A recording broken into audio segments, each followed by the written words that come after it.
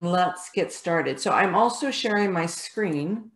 I want to make sure you can see it. So right now you should see the Dutch test treatment guide. So if you can give me a thumbs up that you see the treatment guide, that would be good. Um, and let me just sort of tell you, thank you. Thank you for that. Um, I'm still letting people in. Um, let me just tell you what I'm going to do today. I'm going to basically walk you through this treatment booklet. I emailed it to everyone, but otherwise I'll, I'll show you how to just get it online and everyone who, um, you can actually just get it easily online, but everyone is a practitioner also with Dutch has access to many other trainings. So I'll tell you how to get those um, also. Um, and then I'm going to walk you through the test and sort of show you on the screen side to side um, because there's so many layers to this information and you don't need to remember it all. You just need to know um, how to find it. Um, as people are still coming in, this is the treatment booklet. We're going to spend plenty of time there. Um, but I also want to show you a couple other resources. I didn't email these to you because I don't use them myself much, but if you use these supplements, they can be helpful. So I don't really use Metagenics, but if you use Metagenics, they have a treatment guide that is specific um, to the Dutch test. So can everyone see that? I just want to make sure as I flip from page to page, you're um, still seeing it. So let me know uh, if not. Um, okay, good. Um, so that gives you an idea of what's there and you can see, you can scroll down. Um, this will make more sense as we go over the test. But if someone used this brand of Supplements, there it is, very specific um, with the names to it. Still letting people in. Um, all right, and then if you use orthomolecular products, again, I don't use much of them. I'll tell you um, some of what I use. Uh, but if you like that line and use it often, then here again is a guide where they've taken their specific supplements and related it to the Dutch um, uh, the Dutch treatment guide that we're going to go over. And then I have some sample tests.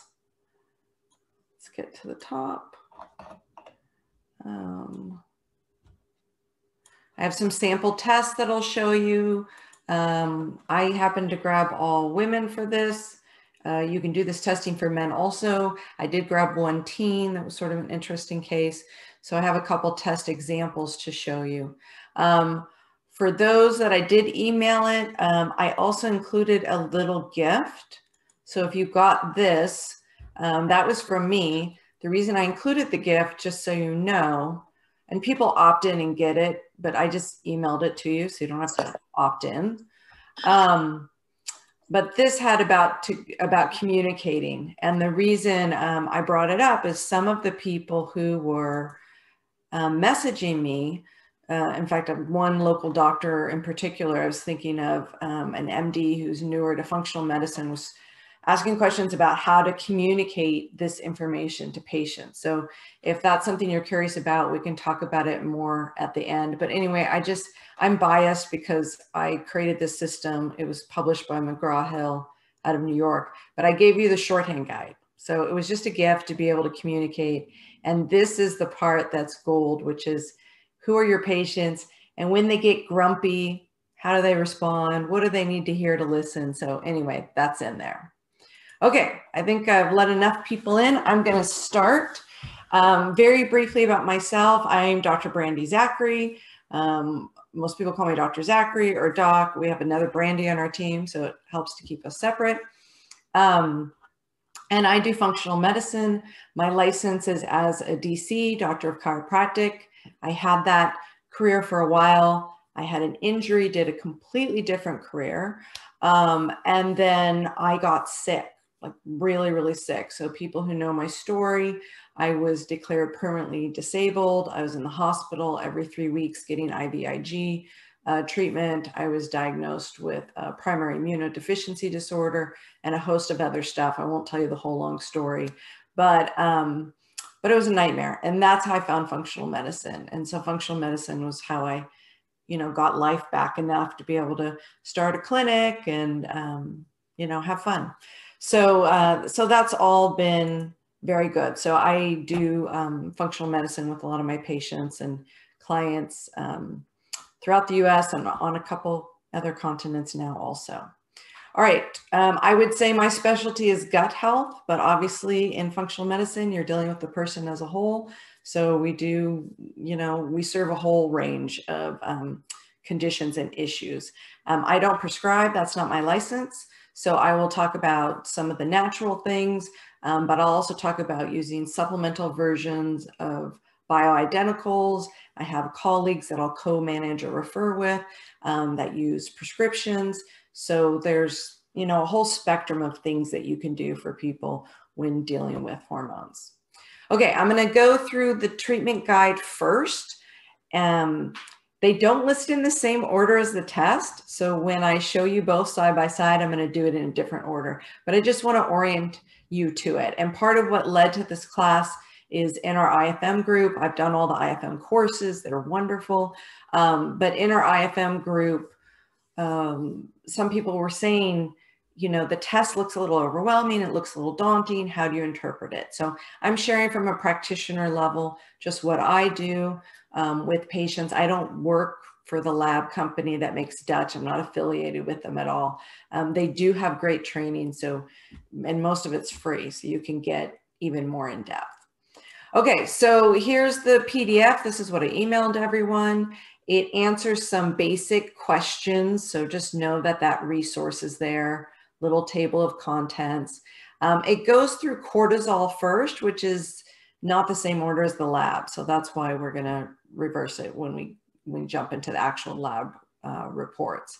Um, but this is helpful because some of the low cortisol symptoms and high cortisol symptoms um, these are the kinds of things that are speaking a bit more to the patient. So when you are communicating things, not getting too lost in um, some of the metabolites, which if you really dive deep into this and it interests you, it's it's fascinating.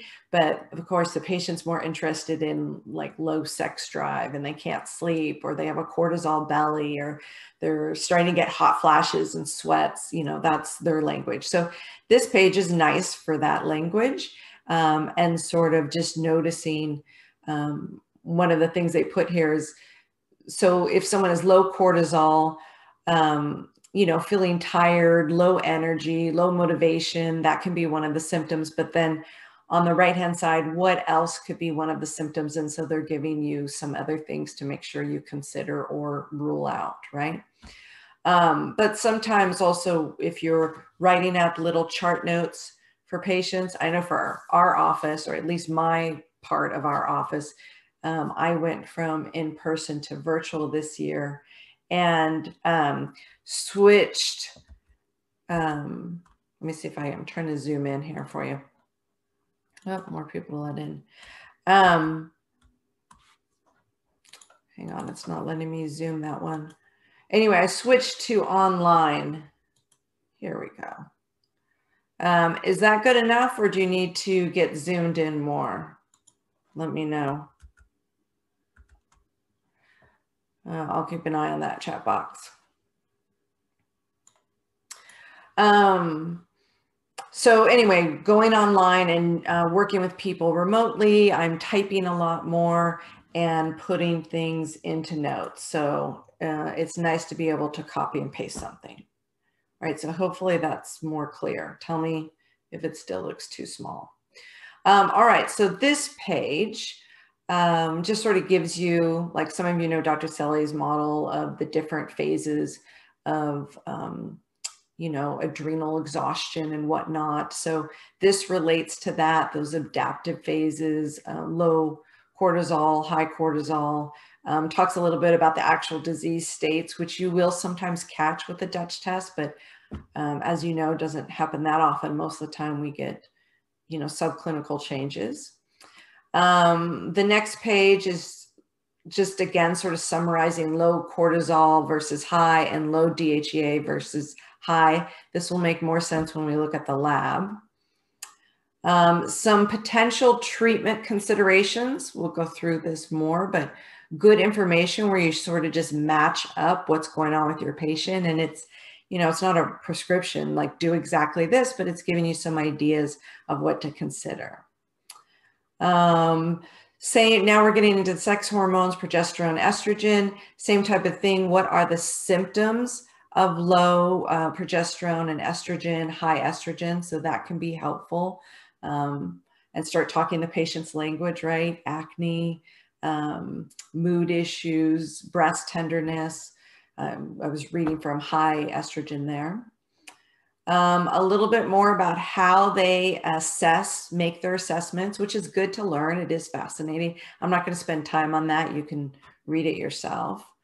Um, some of the root causes behind why it would be high or low. So this is another good thing once you see the lab report is to go back and see if you're missing something. Um, and then this is the chart you're really going to love. So this is what I was trying to skip ahead to.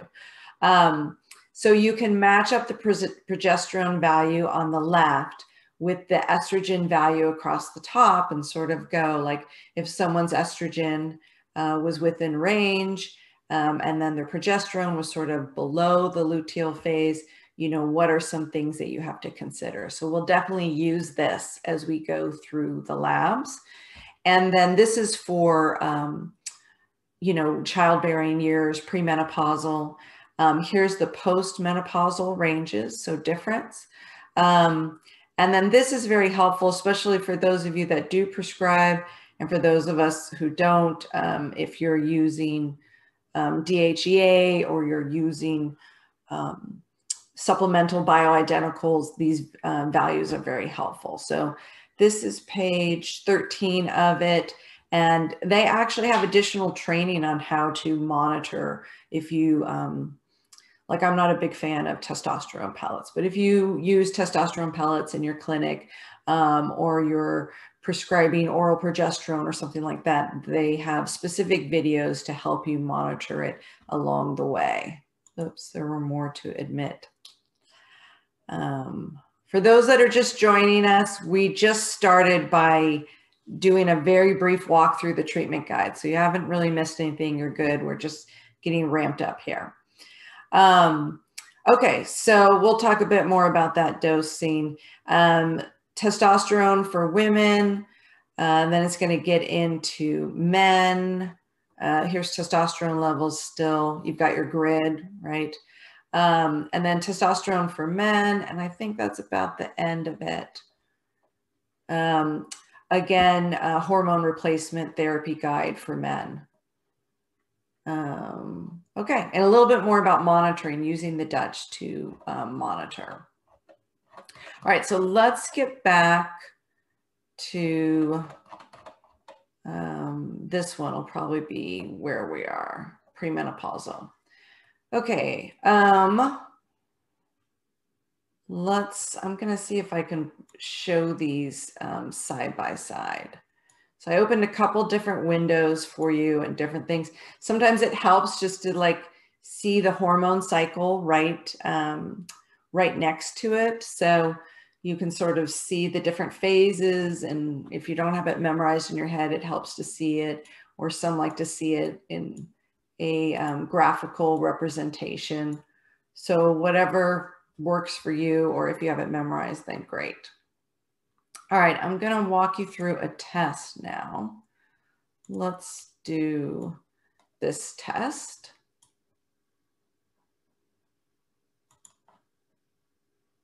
So the guide's on the left. And hopefully you'll be able to see both okay and the Dutch test is on the right. So thumbs up if you can see both. Um, I got rid of all patient data, so you won't be able to see that. Um, let me just move this over here. Okay, good, thank you. Um, all right, so they can, it's not that expensive of a test. You can, if you're not a provider, you can sign up with Dutch your most of your patients can actually get the Dutch test themselves online very inexpensively. So I do have one example of that, or you can offer it through your um, clinic. And so if you want to do it through your clinic, just sign up as a provider, easy enough. Um, and this first page is sort of a summary page. Um, you'll see the actual collection times. This is a urine metabolite test. And then you'll see the age. So this is a 40 and the gender. This is a 46 year old female patient because there are um, different values depending um, on age.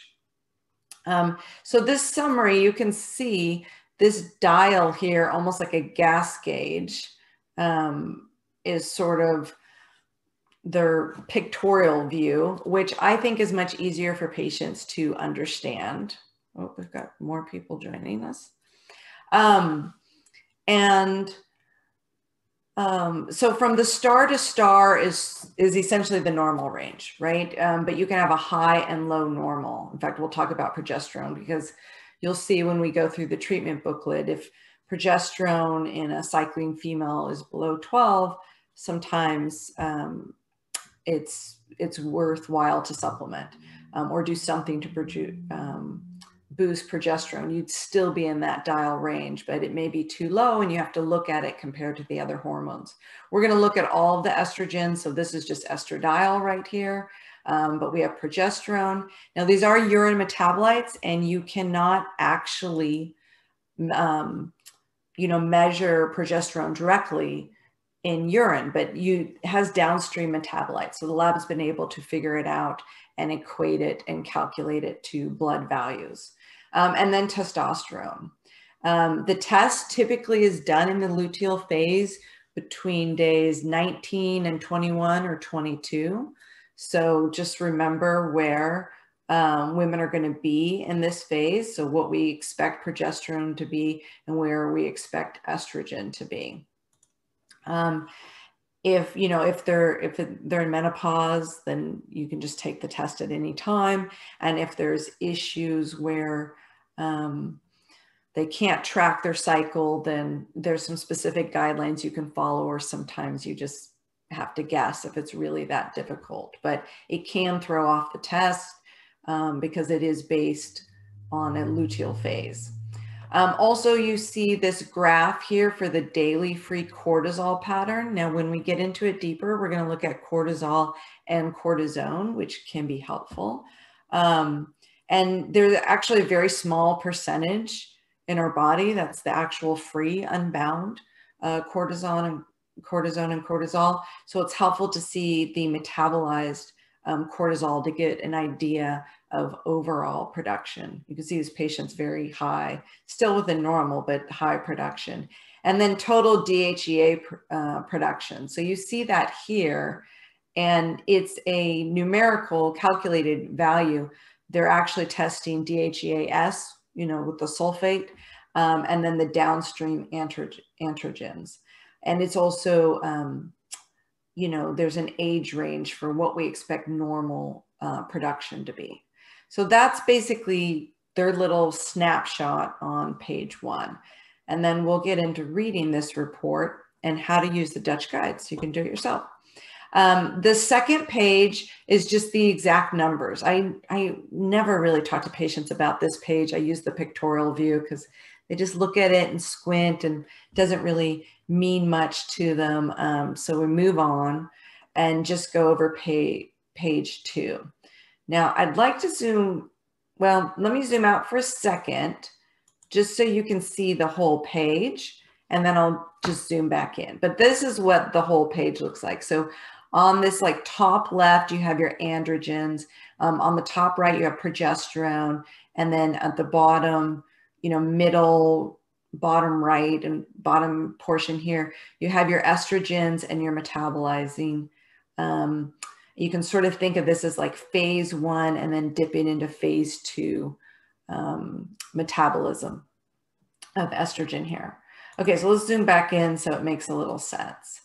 And you can remember like precursors, right? Like cholesterol, LDL. Uh, here we've got pregnenolone. We're making progesterone on the right. This dial wheel is empty because again, it's not a direct measurement for progesterone. So that numerical value on the first page is calculated based on these downstream metabolites that you actually can test in urine. Um, and same with the, the DHEA. Now, what was this patient again? Let me remember. Um, the progesterone was 18.3. That's sufficient. And the DHEA is high normal. Okay, so um, progesterone, the alpha pregnenolone is a little elevated, um, high normal, but otherwise um, not, uh, not deficient for sure. Below, low normal would be closer to the yellow star. Um, below normal would be below the yellow star. Again, you can get the exact values on the previous pages and the range they use. And then the purple is the menopausal range. So this patient um, was 46 at the time this test was taken. She was not yet uh, in menopause. Um, okay, the testosterones here, the androgens, you can see the DHEA sulfate, uh, DHEA. This can be helpful, by the way, too, if you do supplement with DHEA.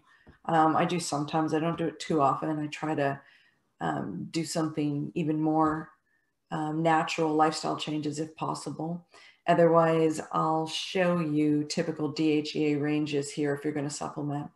Um, you can see testosterone. We know testosterone can um, use the enzyme aromatase to form estrogen. So that's what you're seeing here. And then the downstream, the etiocholanolone um, and, and uh, oops, there's someone else in, hang on. Uh, andros, and androsterone um, metabolites here.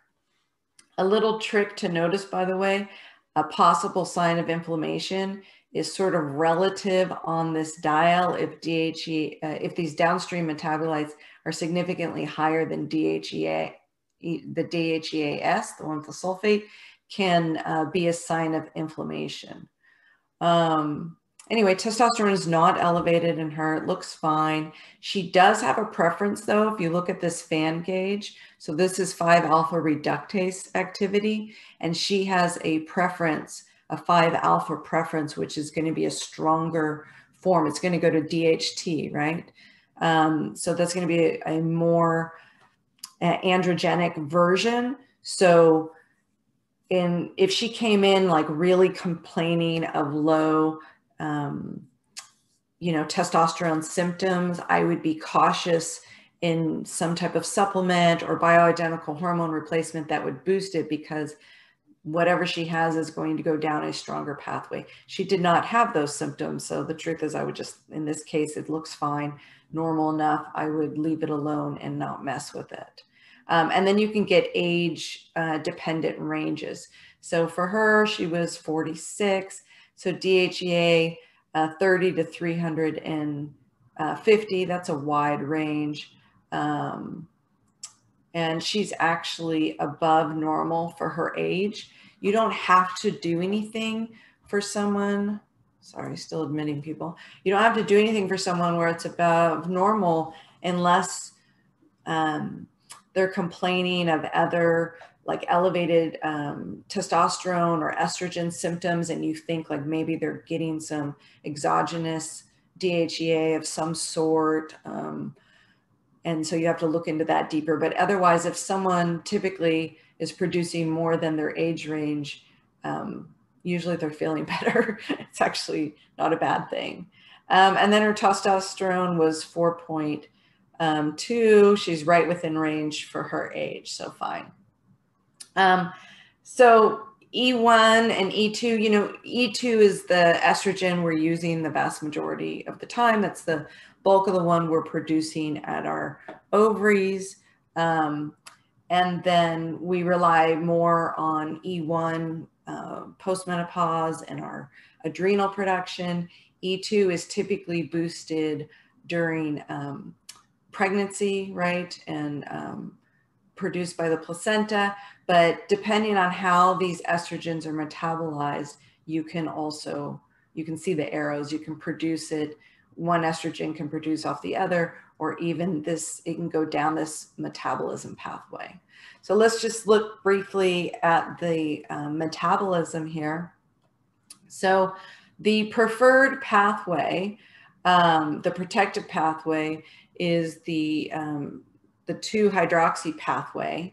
And you can remember, those of you, if you were with me and you just had to take the IFMCP medical boards, that was one of the questions, right? Was um, the hydroxy versus the methoxy um, E1, this is considered um, the better, um, safer um, way to metabolize and convert estrogen.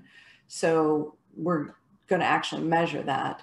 Um, but this pathway as a whole, this is represented by the green part of this pie chart here. So you can see expected ranges 60 to 80%, and then this specific patient's value is 76%. So she's, she's basically going down the protective pathway.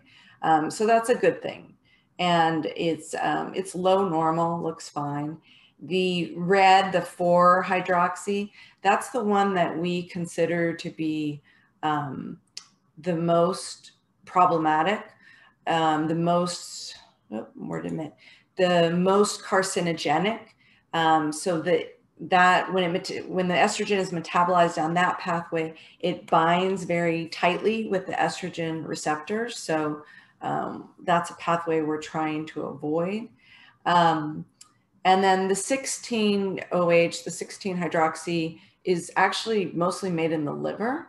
Um, and it's associated with proliferation.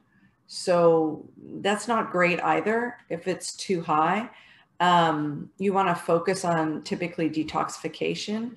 And again, we can start um, forming other estrogens.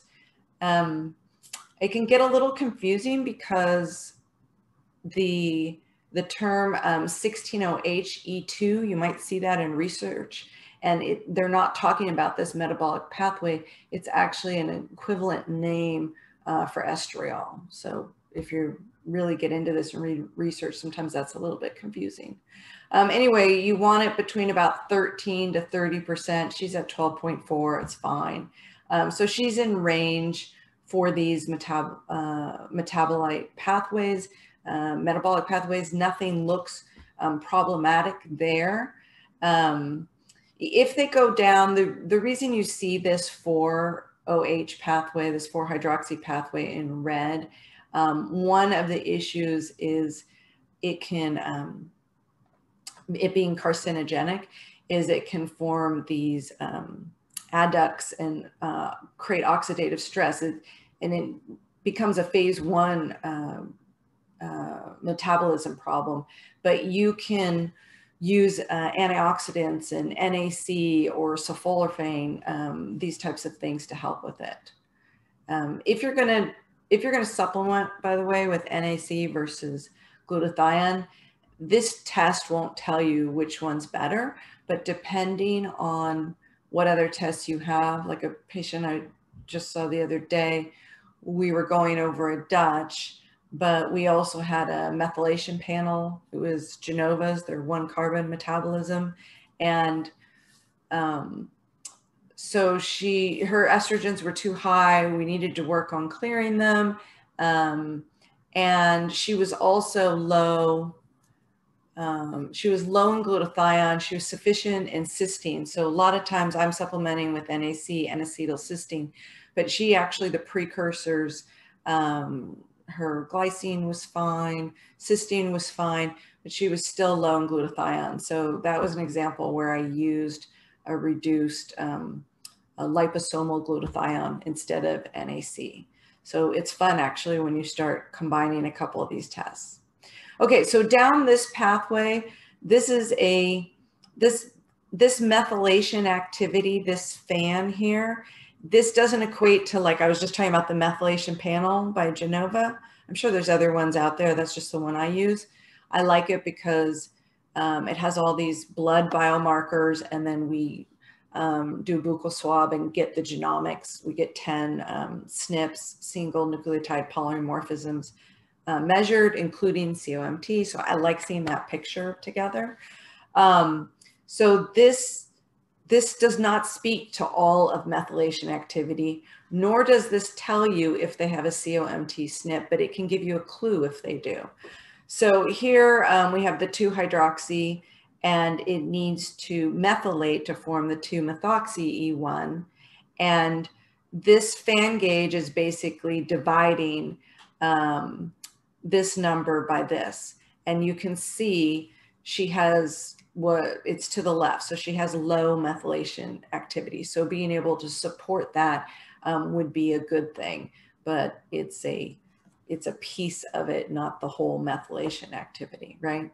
Um, if she was able to clear a lot, then it would be a high fan and you don't necessarily need to do anything if this fan gauge is over to the right and it's high. It's only when it's low that you're typically doing something. Um, okay, so let's talk, before I keep going through the rest of the test, let's relate it to the treatment guide, okay?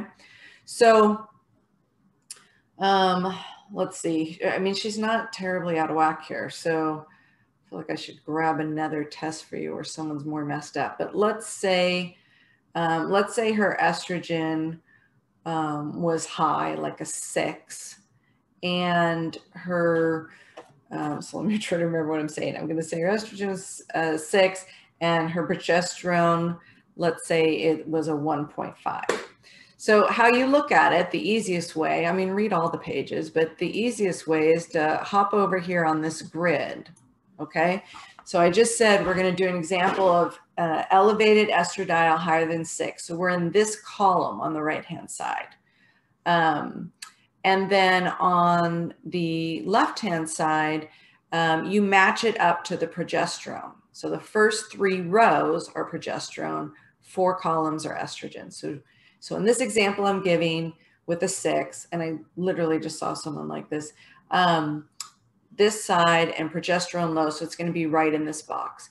So the first thing they're gonna tell you, and you can see the little key down here, so you don't have to remember this, um, confirm that there's no EDCs. They're talking about endocrine disrupting uh, chemicals. So if you do that with your patients, certainly some of the biggest culprits, um, actually even interfering with like phase one uh, detoxification in general, um, xenoestrogens, um, you know, certain chemicals, BPA, that's probably the biggest one, BPA from plastics. Uh, they're on all our receipts, things like that. Um, low iron can be a problem. Smoking, of course. Um, what else? Uh, what you cook with, you know, some um, um, off-gassing chemicals and or cooking too high, um, barbecuing. I love barbecue, but um, all right, aromatization. So that's one of the things you want to look at. This person's fine, but if she was a six, is it because her testosterone's so um, high that it's just going down this pathway of aromatase and making excess est estrogen? Or maybe she was um, high in DHEA. She's high normal and it wasn't a complaint, so it's not an issue. But sometimes someone might come to you and they're already on a supplement or taking some other hormone and you can see the impact of it. Um, all right, so in this case, to bring it back in balance, I gave the example of high estrogen and low progesterone, which is really problematic when you think about the day we're at, right? So it would be like if these little hills in our graph were reversed. The progesterone's much lower and the estrogen's higher, right? Um, so if that were the case, you could start here. They're suggesting using chaste tree, vitamin B6. Make sure you're supporting phase one and phase two, um, calcium D-glucarate, fiber, and then consider PG for progesterone, HRT for hormone replacement therapy. So that's how you read it. And then to break it down a little bit more, Chaste tree, also Vitex, um, if you, I'm going to actually show you a supplement I like that has a blend of these, has vitamin B6, has Chaste tree in it, um, has DIM. Uh, so DIM is helpful for um, being able to convert and clear. Calcium D-glucarate. Calcium D-glucarate, part of why it's great if you do stool testing. Uh, let's see, I have, a, I have an example I can show you. This is a GI map I just grabbed their sample test and beta glucuronidase is one of the markers on it. We use this test all the time. So beta glucuronidase is an enzyme actually produced by um, some of the bacteria. So some of the overgrowths that were on this report is why this is getting elevated. And if you read the white paper for that lab and start studying that marker, part of what um, you'll see is unfavorable changes in the metabolic environment in the colon. Helpful to know that and sort of piece it all together. But the other thing it does is it interferes um, with estrogen clearance in the liver. So, um, you know, we've got phase one detoxification and we've got phase two detoxification, and that's where uh, glucuronidation occurs. And this beta glucuronidase can undo that and unravel it. So um, think of it as the estrogen was all bound up and ready to be excreted. And this enzyme uh, just unraveled that.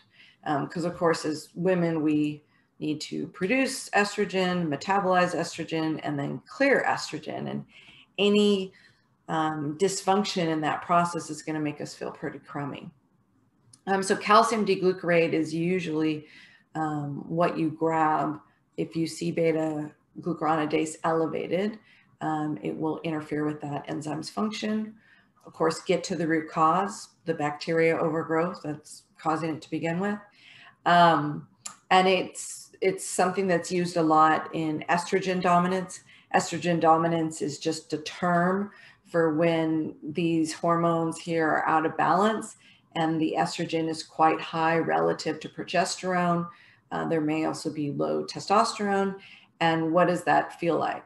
Most women will say that it feels like having PMS all month long. They might get more acne. Um, they might feel very moody. And they might feel like they're retaining water.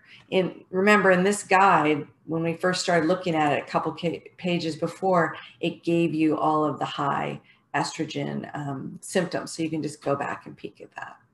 Um, I just wanted to finish describing how to use this. Okay, fiber, of course, we know a high fiber diet is excellent for helping um, not only keep blood sugar in balance, right, uh, supporting and feeding the gut, the microbiome, but also um, estrogen clearance.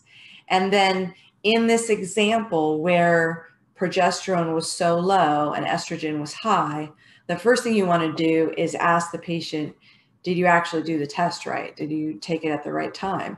But if they did, then um, sometimes you might want to do hormone replacement for progesterone because if that's too low, of course, it's going to be a problem, especially if we have a um, premenopausal woman trying to get pregnant. Um, we need progesterone to stay high, right? Uh, to be able to carry the pregnancy and even to support ovulation to get pregnant. So um, the natural one is chaste tree will support, it, it won't make progesterone, but it will support the natural, the body's natural production of progesterone. You could do a supplemental version of a bioidentical hormone replacement. I'll show you two examples. Let me first show you real quick. Um, uh, I like Designs for Health. I've used many, many brands, so I don't work for them either, just showing you. Uh, here's one blend I like. There's called FemGuard. Um, I'll show you. Thank you for asking. Um, Fem, uh, FemGuard Plus Balance. So I use this a fair amount at the time. I like the blend of vitamins and minerals here. I've got my calcium D-glucarate. Here's some chaste tree. Uh, we've got some DIM in here. Uh, resveratrol broccoli seed extract uh, is excellent. Um, if you've seen some of the research, like the I3C, the indole, I never remember what that's called. I always use the abbreviation. What is it? Um, indole something three, whatever the heck it is. Um, uh, IC3, indole 3 carbinol. uh, indole 3 carbinol. I don't use it that much. You, you can use it. It works well. Um, someone has to have good stomach acid for it to work. So if you're going to do it, you might need to give them a digestive aid, which most of my patients need a digestive aid, but I get such a huge concentration of patients with completely messed up guts. It's just not what I would reach for. Um, I would definitely pick DIM over that instead.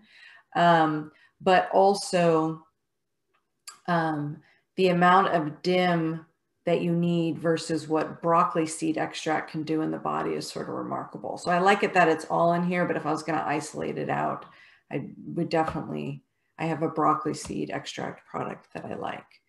Um, my favorite Vitex Dim, well, this has both of it, um, but I do like DIM-Avail, um, which is, I've used many different ones, but I typically use the Designs for Health one.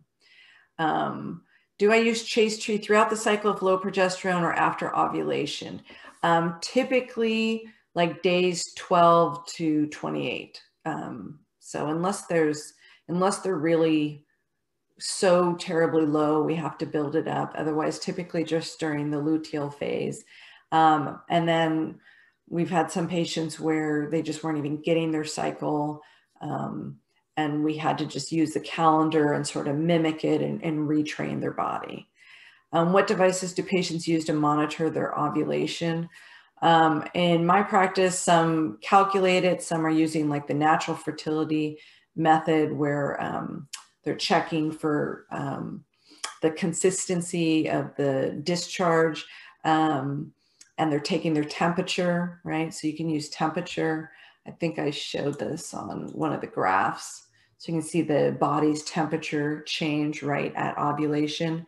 Um, and then some like to use like the pee sticks, right? And you can see if you're ovulating there. Um, a good book to recommend for patients is, what is that called? Like how to control your fertility or natural fertility. Um, see what that is. Um, will pop up? Uh, I can't remember it. I'll try to list it afterwards, or if someone knows it, pop it in there. So there's only like one real great book that's sort of the Bible for that for patients. I'm sure someone knows what I'm talking about there. Uh, there you go. Perfect. Thank you. Taking charge of your fertility. That's it. Um, that's a great book to give patients to use so they can actually start learning about their own body's rhythm and um, how it works and start tracking and can be very empowering. Um, all right if you're going to do a bioidentical, um, those of you that prescribe, you've got some options, right? Oh, we have more people coming in. You can do, um, you know, depending on which hormone you're doing, you've got patches, you've got pellets, you've got creams, you have suppositories, um, shots, you've got um, um, oral. Uh, I don't like progestins. So I'm trying to avoid, I'm trying to avoid synthetic estrogen um, for my patients and synthetic progesterone or progestin. So those seem to be the most problematic from the research that I've read. Um, bioidentical estrogen, I'm not too worried about it. I still don't, ideally, I don't want it unopposed. So everyone has their own opinion, but most of the colleagues I work with um, they don't want to give estrogen unopposed either. They want an estrogen progesterone blend. Um, and bioidentical progesterone, I'm not really worried about um, by itself or with estrogen. So come to your own decision on that, but that's been my experience. If you're going to do supplemental, um, I like this one by Designs for Health, Progestavail. Um, one dropper full is about 20 milligrams. So I'll show you doses here on that treatment guide in a minute. Um, another option, did I open it? Yeah. Um, Bezwecken, if you know that, I still like, to me, it's weird that patients could just buy this online by themselves. That seems like really dabbling. I think they need to work with a professional for dosage. I'm very, very conservative in my dosage, um, but this is still supplemental version. So you can actually get, like this is one of their strongest ones here. You can get pretty decent doses, but the nice thing is, is it's, it's almost like microdosing it and you can get it quite, uh, quite low. So um, awful names, but here's their Phyto BL4X. Um, they have to shake it very well. Um, I usually have them open and close the dropper and um, remind them that it's it's only one third full by design. It's so they have room to like shake the heck out of it. And um, 10 drops is about 40 milligrams of progesterone, um, 1.6 milligrams of estriol, and 0.4 of estradiol. So you can work your doses there. And again, I'll show you the amounts in a minute. So you can get pretty high. It's good quality stuff. It works. Um, I'm going to talk a little bit more um, about this, but then again, you have those of you that prescribe have a whole range of um, pharmaceuticals to use or not use. And while bioidenticals are still hormone replacement therapy, there's really quite a difference um, for how it's metabolized and perceived by the body versus the um, synthetics. Um, and in my experience, I don't know what yours is with your patients, but in my experience, uh, when I'm working with hormones, they can change so quickly, like just a little bit can create a massive shift and everything is so connected. I'm very intentional, which is why I like this test. I'm very intentional about where I'm going to start nudging things to change. And then, of course, I'm always looking at um, diet and lifestyle is absolutely essential, um, liver support um, in making sure liver is completely functional um, is essential. And, um, you know, exercise, movement, stress management, right? Cortisol. And then the, um, the gut microbiome is huge. That could be like a class all by itself. Um, one thing I was going to say for those of you that are new and diving into um, recommending hormone replacement therapy is keep in mind, like if you give DHEA, there's a possibility that you're going to go downstream and uh, increase testosterone or estrogen. So if DHEA was low and these were high, that might not make sense. It, you just have to consider every pathway that you're going to impact. Same with testosterone. Like this was the controversy about a lot of men. At first, all the men just wanted testosterone shots, right? Or um, it just sounded great. But then if it gets too high, it's going to, you know, aromatase to estrogen. Then they're going to be unhappy. They're going to end up with more of why they came in to begin with, right? Uh, low libido. And I remember I was thinking of one man in particular that came in. He was an executive and he found himself starting to tear up in board meetings, which was not working for him. Um, anyway, we tested um, and testosterone was elevated and um, going downstream to form estrogen. So we just had to bring things in balance.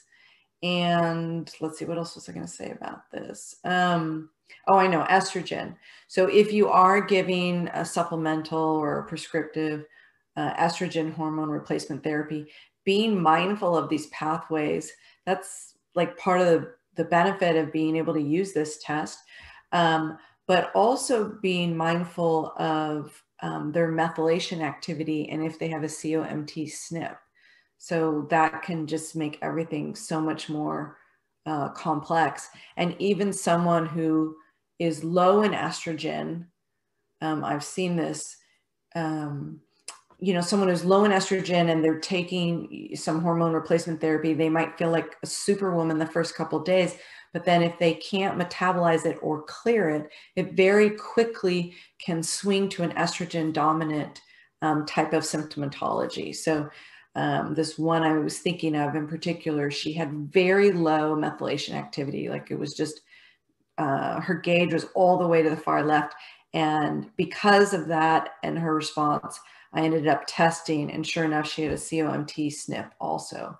So we completely changed what we were doing based on that. Okay, let's get back to that grid here. So this is where um, Yes. So a question, and then I'll talk more about using the grid. Uh, five, so 5 alpha reductase activity in women with PCOS. So what I do is, um, it depends on if it's just really high and going down this pathway or not. So I'm always sort of backing up and seeing what's going on. If there's something exogenous that's in there, I'm trying to find out if there have uh, endocrine disruptors. I'm trying to look at it. Um, I will use like saw palmetto um, and, and women, and I have to tell them like why I'm giving them the supplement that says prostate on it, but that's why I'm doing it. I've seen that work quite well. Um, but anyone with PCOS, a, a big issue is um, blood sugar, blood sugar balancing, um, and liver health. And then let me just show you, I'm going to come back to this page, but there's a whole section here um, for testosterone in women. So um, let's say it's high testosterone and she has high symptoms. Um, and then this 5A reductase is um, favored. So you're on, you can't see my hand here, but hopefully you can see the mouse. So you're in the green column on the right, and then the second row from the left across. So investigate potential insulin dysregulation, blood, blood sugar balancing, consider blocking 5A reductase, okay, um, and consider possible PCOS, yes, we will. Um, and it can be exacerbated via um, ovarian insulin or adrenal uh, dysfunction. So to look at all of those. And then you'll see here, um, let's see, where did they, I want to, I know where it is, but I want to see where the number was. Um, where's number six along here?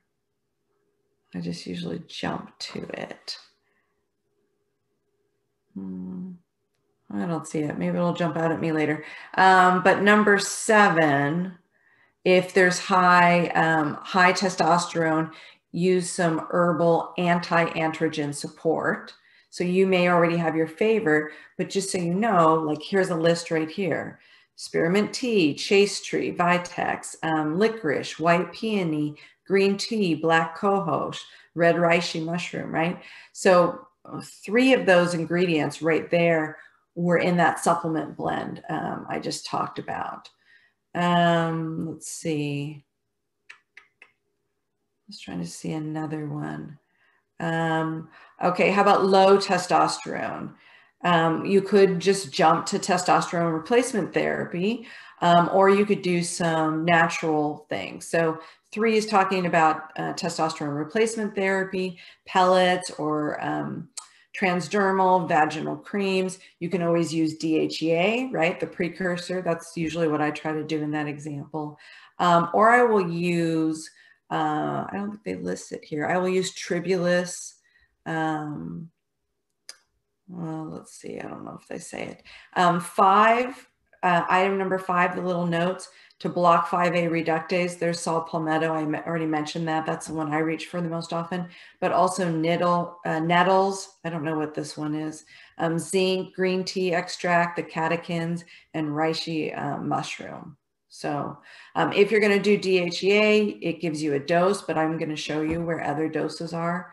So that's how you read this. So it looks, you know, odd when you first see it, but it's a very helpful um, resource to have. Okay, let me get back to that. Um, and there's the symptoms again. There's testosterone symptoms. Um, here's the dosing. So hopefully you can see this, whatever category you're in. If you're doing oral progesterone, here's the typical one. Um, I'm usually I'm usually using this low um, dose, but I will use a, um, a topical um, DHEA, I'm I'm typically in low here, but some sometimes I'm doing high actually.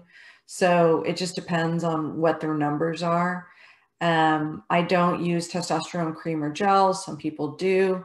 It's sort of like a popular thing to do with women now, but too often I'm getting them on the other side where they had pellets and everything went wrong.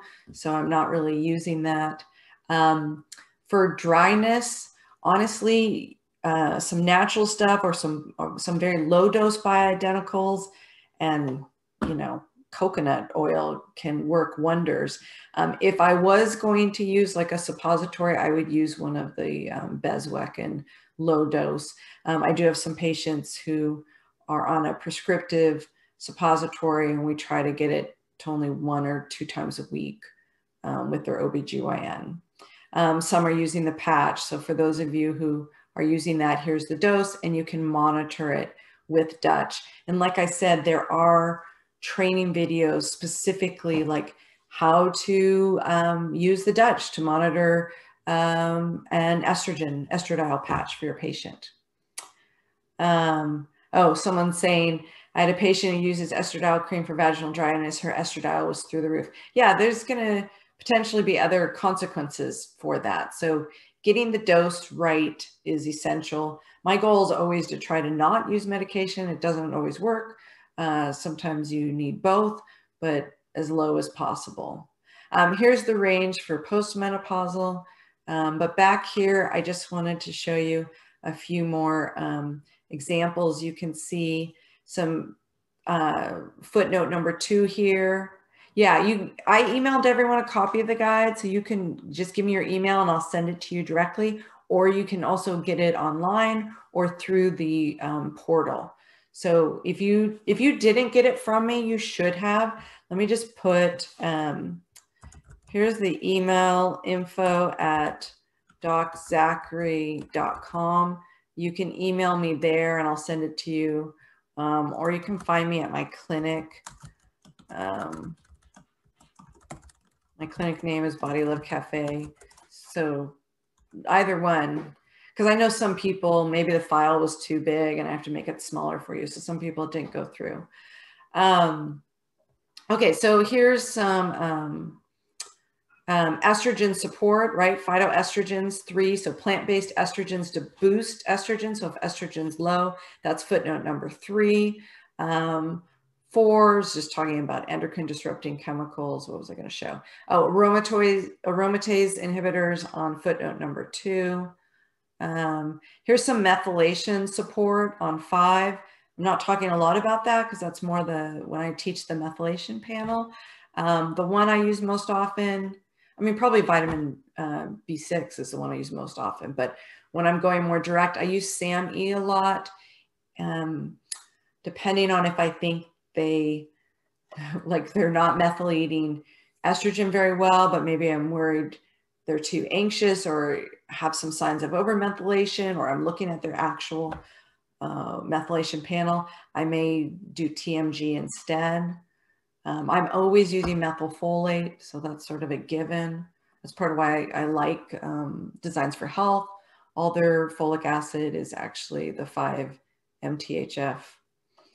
Um, okay, so hopefully, oh, let me show you this one more thing before we move on from here. Um, let's say they're, uh, you know, within range, but you're thinking they have poor phase one metabolism. Again, using that DIM or I3C. I reach for DIM um, more often. Um, if there's poor methylation, I'm waiting for the test to show up. If there's poor methylation, um, then you may want to consider some genetic testing. Um, do I check Dutch must uh, much in guys? Uh, very few times. Um, like I'm thinking of one, like a young man in his 20s who um, could not sustain an erection. Uh, and that gentleman I was talking about who uh, was in his 40s and tearing up in board meetings. Otherwise, most of the time, I don't treat a ton of guys. Uh, and the ones I do treat, that's probably not entirely fair. The men, most of the men I treat have heart issues and gut digestive issues. So I treat very few men for hormone issues. And most of the time, we're able to get a handle on it without even doing the testing. So then that saves them money. Um, but if not, then yes, I would do the testing.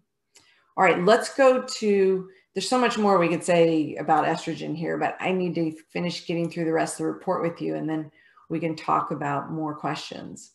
Um, okay, so just, just to sort of summarize, like you've got your androgen side, you've got your little progesterone corner, you've got your estrogens, how they metabolize, uh, phase one, and then dipping into phase two uh, methylation here um, and converting from the hydroxys to the methoxy. Okay, so the next page of the Dutch are your um, adrenal markers here. We're starting to look at uh, cortisol. Same thing, I don't stay here for patients because it sort of looks like nothing to them. I could explain all these markers in detail, but I want to wrap up in the next few minutes for you. So if you have questions, and we'd spend a lot of time talking about all these. Um, so let's go to this one, which is the picture view. Uh, and that's how I describe it to patients too. I jump ahead to this. So this is what the page looks like as a whole. Um, and then I'm just going to zoom in so you can see it better. And then on this guide, remember when I first walked you through it, on the actual test, adrenals come later. On their treatment guide, adrenals are in the beginning. So this is the page, um, page seven that is helpful. There, there's a couple pages, like here's the symptoms on page six. Um, and then you have that like sort of spectrum. But anyway, this is the, the main page to look at um, that's going to sort of tie it, you, you, know, give you the clinical reference um, and be most helpful. Okay. Um, all right. So one thing that's nice to point out to patients is, you know, hypothalamus, pituitary, maybe talk about those glands a little bit. And, um, you know, right here to adrenals, you've got the, you know, cartoon graphic for the HPA axis, um, but to talk about how this, um, these glands signal, you know, um, hypothalamus pituitary to thyroid, um, to the to the gonads, the sex um, organs, and just how important that relationship is. So sometimes that may be a good conversation. Um, you have a melatonin marker. This person's low normal, so it depends on if they're having sleep issues. If I would do anything about it because of some of what we've been talking about, melatonin being immune modulating, those with sleep issues, I am more likely to give three milligrams of melatonin a night this fall and this winter than I was last year. Um, here you've got on the right-hand side your total DHEA production, and again, the values by age, she's fine.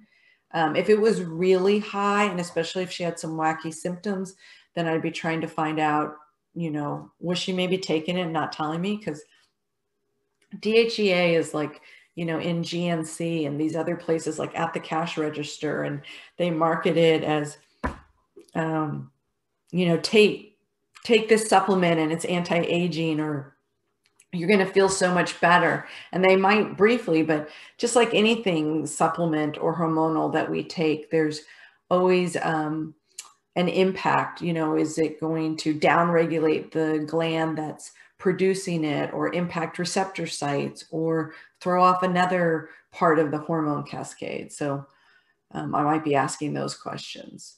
All right, her cortisol's high. She was stressed out, mama. Um, so overall, her cortisol's high. This fan gauge, so part of why the lab does this is these two graphs at the bottom, we'll talk about why cortisone and why cortisol. It's such a small percentage of the circulating cortisol, but it's nice to sort of um, see what's going on for them during their 24 hour cycle and, and how it's impacting their life. So it's also this cartoon graphic is helpful for communicating with patients in a way they understand. But metabolized cortisol is a better um, marker. And really, these metabolites, the THEA and THEF, there's so much more of it in, um, you know, in circulation and certainly in these uh, urine metabolites that that gives you a more accurate picture. So you want to look at these against each other and usually they will match, but not always. So it gives you a more accurate picture of what's really going on. So for this patient, um, you know, metabolized cortisol, which is a calculated value of both of these is quite high, but this patient prefers, using the fan gauge, prefers cortisone, which is the storage or inactive version of um, cortisol. And there could be a number of reasons for that. It could be that um, she's just so, has so much, or she's just so stressed and producing so much cortisol um, that there's an overabundance of it and it's driving this um, storage form. Um, for someone who had too little, like um, like this metabolized cortisol was low, but they preferred this cortisone inactive pathway, and then they come to you saying they're really tired and they feel fatigued and crummy, then you might want to use something like a glycerized um, licorice, which uh, will block the enzyme that converts cortisol to cortisol cortisone so the active to inactive. So without giving something that will make them feel more stressed or produce um, more cortisol um, you can just block that conversion and it just allows the cortisol they have to be more available. Um, now i don't want to give it to this person because look down here right so if you look down here um, her values are just much higher than you need. And the way you want to read it, by the way, the label is a little confusing. So waking A is actually um, represents the overnight value. Um, and cortisol, we know, you can just see by the gray here, but it's supposed to be the highest and spike in the morning, right? It's your like get up and go.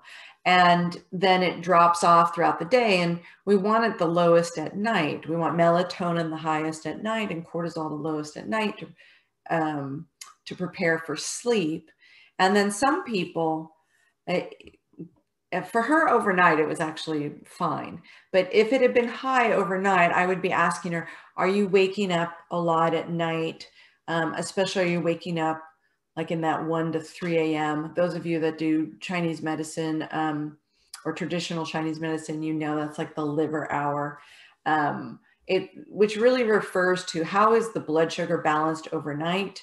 Um, how, how is the liver operating functionally? Is it able to release glycogen on demand and what's demanding it once the blood sugar is exhausted, if you will, overnight, the adrenals will release cortisol to signal the liver to release glycogen. If there's any dysfunction in there, uh, the cortisol can be higher at that point and resulting in the patient waking up.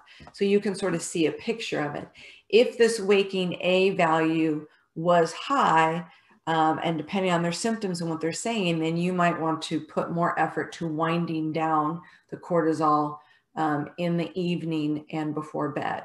You might want to do something to support blood sugar um, before bed and overnight. You might want to explore liver uh, health and their ability to detoxify um, in more detail. Uh, you might want to give adrenal adaptogen support. So a lot of these things are listed here. Okay, so morning B is the true morning range. So that's the one that you want to see um, higher. And then afternoon, this is helpful too. Sometimes you see people with the afternoon dip, right? Starbucks knows like 2, 3 p.m. That's when everyone's crashing. Um, and so they're going and buying sugary drinks or, or whatever um, to try to compensate for that, which just perpetuates the problem. Um, so she's still quite high for the afternoon um, and then definitely too high at night. So is, she's described as a night person. Um, and some of these people, you can really sort of map it out and see like they, I've had patients where they're low in the morning, they're dragging, they can barely get out of bed. In the afternoon, they're still dying and they're like struggling to get dinner together for the kids and whatnot. And then all of a sudden at night, now Facebook knows this, right? At night, 10, 11 p.m., they're wide awake. And now all of a sudden she can like clean the house or she's on Facebook with friends or she has all this energy and then she has a really hard time getting to sleep. So a lot more we could say about that. But um, anyway, let me tie it here to the treatment guide for you.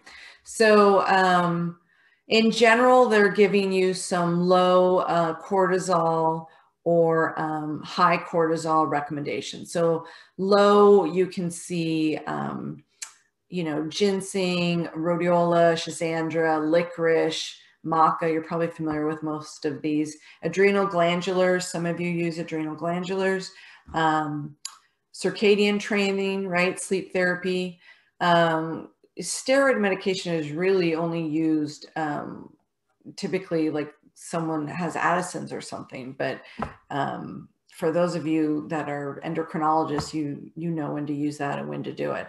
Those of you that are working with um, people with these types of patterns, it's typically not that extreme. I I won't say we haven't ever found it because we have, but it really jumps out at you. Like um, uh, just the the hormones are just gone. There's nothing. They're not producing anything, and then we have to start uh, checking. Um, or it's so far through the roof, we think it's Cushing's, right? Um, all right, high cortisol, lifestyle, inflammation, stress, infection, of course, can play a role. Uh, meditation, prayer, calming support. GABA is great. In fact, I probably have GABA within arm's reach. Yeah, I love GABA. This is the one I use. There's a bunch of different ones. I like this one because you can chew it and it's very fast acting. Um, all right. Um, uh, taurine, great. 5-HTP can be helpful. So 5-HTP will go downstream to make serotonin. Um, and different than like if you supplement with tryptophan, tryptophan could go down to form quinolinic acid. 5-HTP won't do that. Uh, L-theanine, I see that most often in some of my nighttime blends, um, but some use it during the day. Um, a couple um, calming um, herbs here. I use passion flower, skullcap, phosphatidylserine, probably one of the best ones. We talk about it a lot um, in IFM training. So I, I love phosphatidylserine. It used to be a product, an animal brain product. You don't find that in supplement form anymore for good reason. Um, and so the one I use is, I think, a sunflower uh, based. Uh, so it's a you know lipid, but works really well.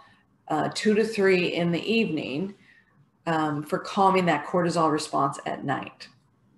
Okay, and then just general adaptogen um, support right here. So um, I was going to show you a blend. We'll see if you guys want to see it. I'll show you some other blends. Okay, and then um, if DHEA is lower, you might want to consider adding some DHEA in. So they're talking about that. Um, if it's higher, basically every every scenario um, is there, which is which is great. Okay, let's go back to the test and um, the last page of markers, and then I'll show you what else is on there, and then we're done. We'll take questions. Okay. Thank you for your patience. um, all right, the, uh, this is methylmalonic acid, vitamin B12. So if that is high, this patient was fine, but very often I see the patients high, they might be low. Um, I like to use methylcobalamin, so that's what I use. Um, vitamin B6, we have two metabolites that if they're high, uh, they can be deficient. This patient was high in one of them above range um, in the other. I did supplement with vitamin B6 for her. Um, glutathione, this is a marker where high or low, um, they can be out of range. She was the high end of range, but I had some other tests that showed um, that would be helpful supplement for her. Um, we ended up using NAC. And then the neurotransmitters, some people consider it sort of controversial to do neurotransmitters. I've been doing it for so many years that I've been able to really tie it in clinically that I, I, think it's valuable information. So there's only two markers on here. There's not much, but if you do organic acid, these are organic acids, but if you do a organic acid test, I tend to use the, um, the one from Great Plains. Um, they have more and I've found them very helpful clinically. Um, but anyway, um, this was within range, but you've got a dopamine marker and norepinephrine, epinephrine. She's above range, not surprising considering her cortisol was so high and her clinical representation was sort of this stressed out patient anyway. Um, her melatonin was lower, makes sense. Her cortisol was so high at night, she's having trouble sleeping. Um, and then for oxidative stress, you'll see this a um, hydroxy marker more and more now obviously it doesn't tell you everything, but if it's high, it's a good sign to start looking for elsewhere. So um, oxidative damage, right? Um, a potential DNA, you know, cancer precursor marker. Um, the next page, I'm going to zoom out so you can see it. It's it's sideways, but there you've got the whole pathway. This is very helpful, including you can just you can just geek out and map out the whole um, pathway look at where they're messed up. I have to say, after doing this a million times, I already told you guys, so you know, I created a lab software app and it does all this stuff for you. I did it just because I was tired of mapping it all out and going through it. So you just actually, my staff can punch in the numbers and it just gives a PDF report.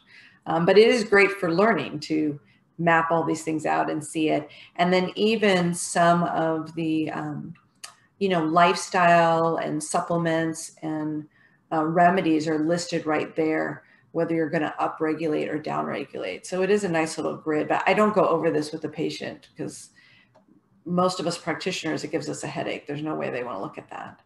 Um, this comes with every Dutch report, and it's really sort of their standard boilerplate information that gives you some definitions. And then in bold will be sort of specific to your patient but it's not necessarily um, a lot of information. So if you just jump from one bold section to the next, you get a little bit, but if you rely just on that, you're going to think, oh, this test doesn't, it just doesn't give you a lot of information. So that's why you want to use the treatment guide.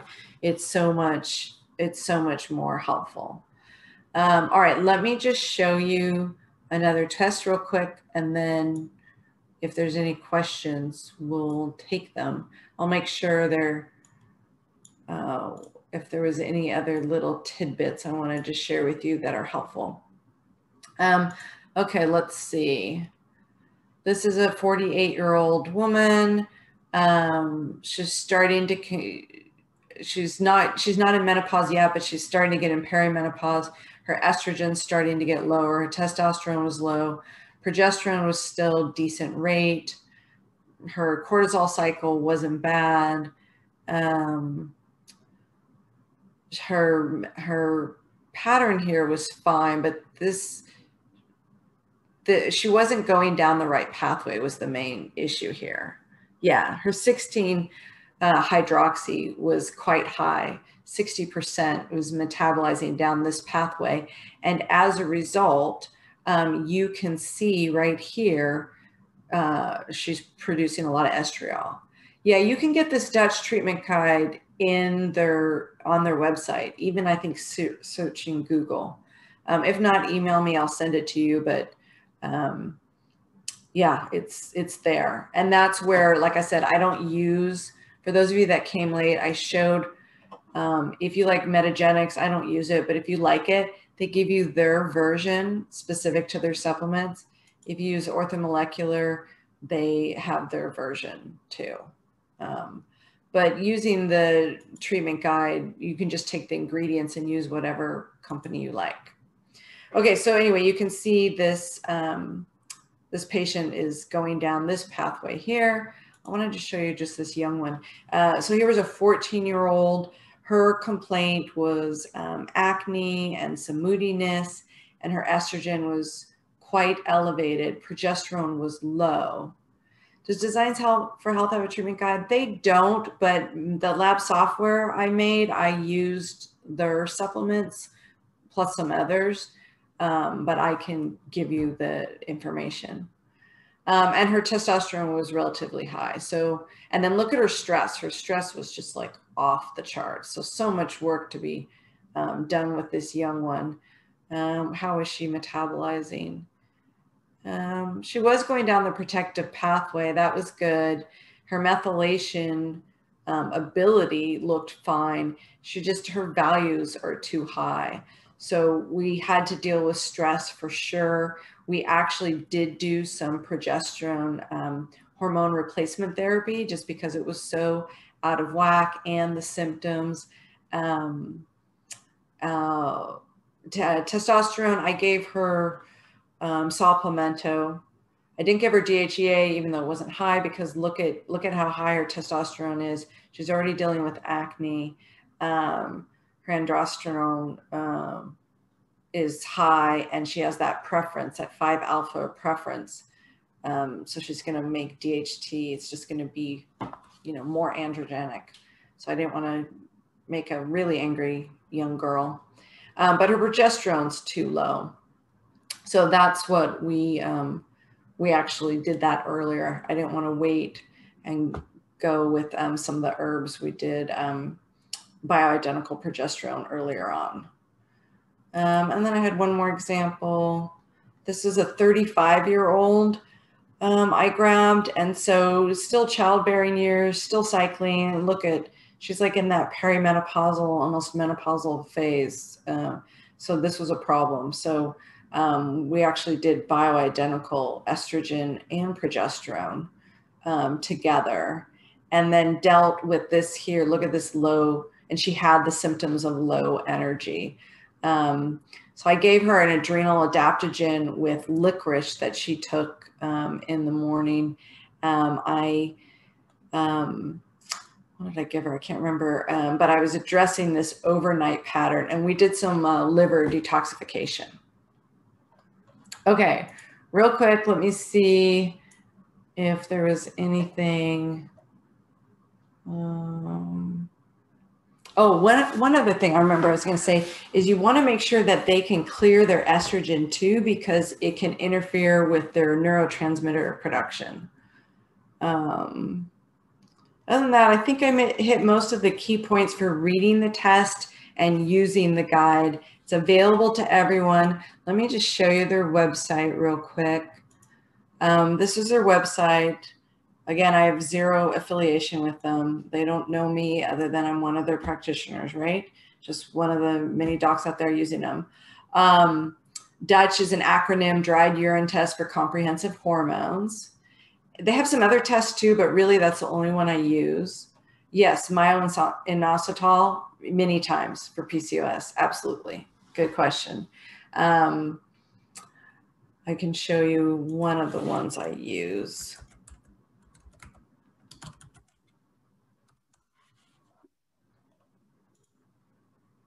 I'm gonna, uh, I'll sound, this, I like this one right here with the alpha lipoic acid, Sensitol.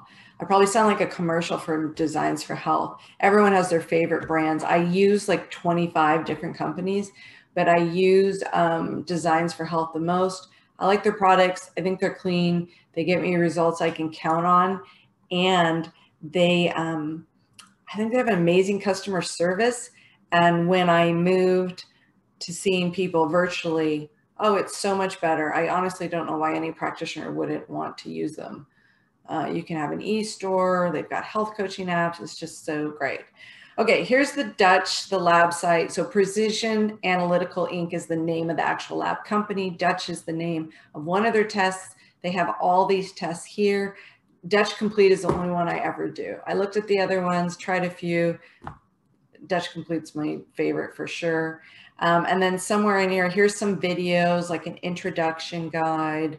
Um, and then when you become a provider, um, you know, it's free to sign up. You just get into the portal, um, order test kits or get them drop shipped to your patients. Um, oh, I'll show you another little secret tip for how to get labs to patients. That's awesome. Um, anyway, they have tons of education is what I wanted to say and they have this guide in here somewhere. You should be able to find it. Um, someone said her anxiety was worsening on um, on inositol. Maybe was her blood sugar getting too low then, and she's getting hypoglycemic. I don't know. I'd be asking asking what else was going on there. What detox supplements do I use if E3 is high? Um, so I like uh, sulforaphane, um, uh, broccoli sprouts with myrosinase in it. Um, so this is the one that I use. Uh, there it is right there, BroccoProtect. Um, so that's the one I like. Um, and then uh, the other thing I was going to say about that is go back stream. Like why, what's possibly causing this to get high, right? Like where, what else is going on? So I'm always trying to get at the root cause, but otherwise I like this. I think it works so well. Um, and then I use NAC a lot also for sure. Um, when might you use the Dutch cortisol awakening response? Um, so the Dutch, you can get it, you can get that cortisol cycle by itself. Um, the Dutch with cortisol awakening, uh, I've only done that a few times. If I remember correctly, it was just a longer monitoring. So I can't answer that question very well. It's been too long. I can't remember it. Sorry. Um, I just always use that Dutch complete. Um, what else was I going to show you? Oh, I know what I was going to show you. How to order labs, a great way. I love this site. Again, I'm not affiliated with them other than I use them. I think they're great. Um, let me make sure I don't sign in. um, but Rupa Health, if you don't know Rupa Health, tell them I sent you. But they're just wonderful. So we do a ton of labs in our office and my staff used to like always be ordering from all these different portals and then getting the kits and mailing them to patients and then having to check all the portals. So I only have like one test right now that doesn't go through Rupa. Otherwise, I can order everything through Rupa and you just log in. You have a free account with them. They charge a 7% fee and um, which is nothing, right? Like a $300 lab test, that'd be $20, $21, right? So um, what they will do is you can just place the order. They will mail the test kit to the patient. They will send them instructions. They'll handle customer service. Um, they'll collect the results, let you know when they're in. Your staff can download the report. And then it's great because maybe for one patient, you're ordering labs from five different tests um, and you get to see it all in one portal and they ship it all. And the other thing too is if you don't want to collect money from it, have the patients pay direct, you can do that. Um, if you have like a service fee and you want to charge through your office, you can do that too. So you have both options there. Um, so that can be nice. Uh, so anyway, so that's them. You can read, you can read um, about some of their tests that they have available and you know what it's what it's like. I'm trying to click the little tab and it's not jumping, but what it's like for uh, being a patient with it. Okay, if you have any other questions, you can just ask through chat or you can unmute yourself if you want, or you can just go have a Saturday night um, and say good night, whatever works for you. But thank you so much for being here. It's always fun to um, share stories and give little tips. I'm happy to do it again if it's helpful. Um, and hopefully you'll start using this if you want to dive into uh, hormone. Um, what was the number?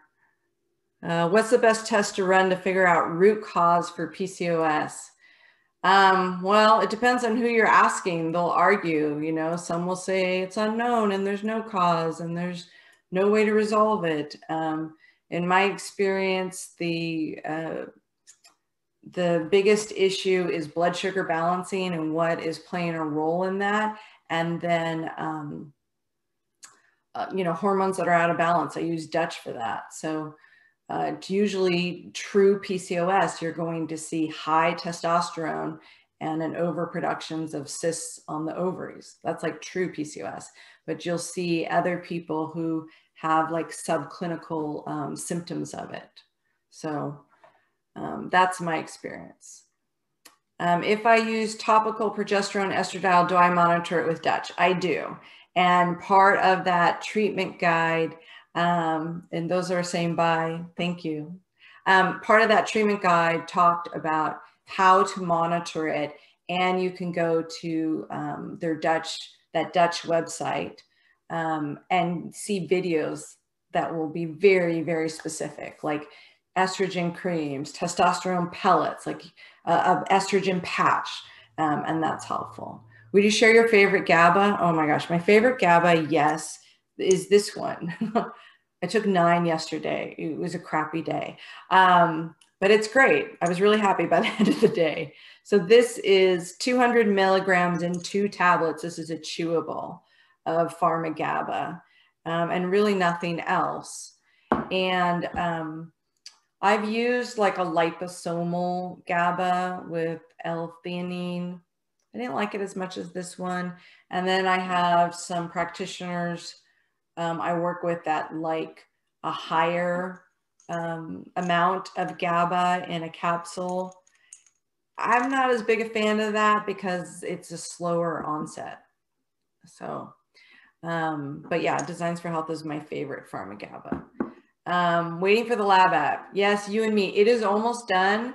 For those who are waiting for the software app, um, I built the first version four years ago. We've used it um, so long with hundreds, maybe even thousands of times. I mean, just so much.